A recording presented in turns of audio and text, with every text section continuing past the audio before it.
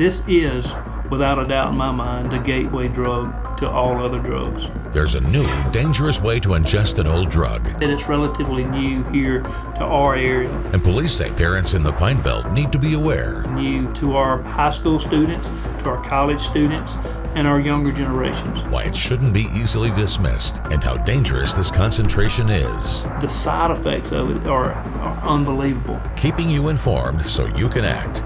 Thursday at 10.